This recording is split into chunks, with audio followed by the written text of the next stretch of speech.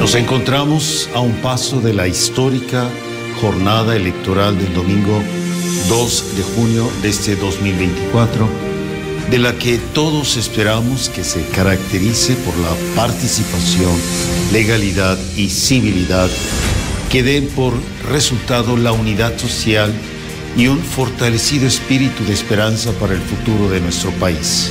La Iglesia es consciente de ser portadora de un mensaje de fraternidad desde el Evangelio de Jesucristo, por lo que está llamada a propiciar el encuentro, el diálogo, el respeto y la reconciliación entre las personas, la sociedad y los países. Es así que presentamos las siguientes exhortaciones. Primera, invitamos a toda la ciudadanía con credencial de elector a salir el domingo 2 de junio a votar en libertad por los candidatos de su preferencia, según los puestos de elección popular en contienda.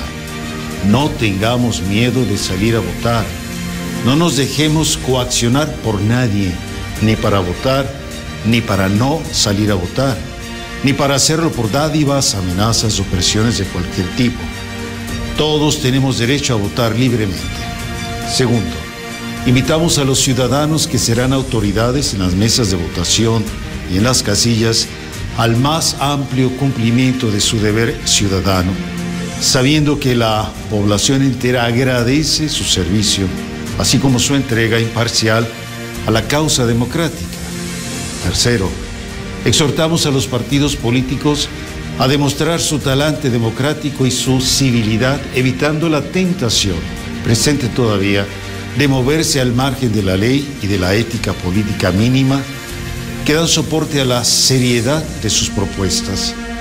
Todos los partidos políticos, los candidatos y ciudadanos deben rechazar las prácticas ilegales para no manchar el proceso y poner en riesgo los resultados. Es importante en la democracia saber ganar y saber perder. Cuarto, exhortamos a las autoridades electorales del país a ejercer sus responsabilidades con todo profesionalismo, con apego a las leyes electorales y a la ética de la responsabilidad y la civilidad. La ciudadanía confía en sus instituciones. Quinto, invitamos a los medios de comunicación a servir a la nación informando con veracidad, con ética y oportunidad a la ciudadanía.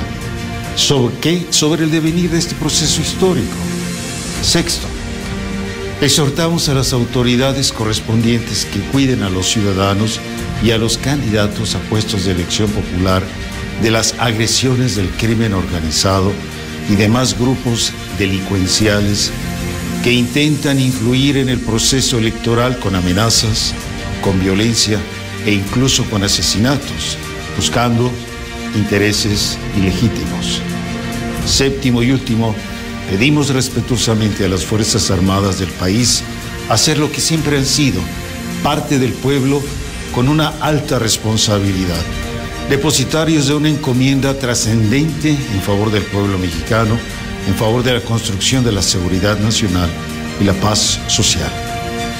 Como hombres de fe, invitamos a todos, hombres y mujeres de buena voluntad, a orar y pedir a Dios por intercesión de la Virgen María de Guadalupe, para que derrame su gracia, luz y sabiduría, ya desde ahora y hasta que termine este proceso electoral, para saber decidir juntos el presente y futuro de este bello país que es México.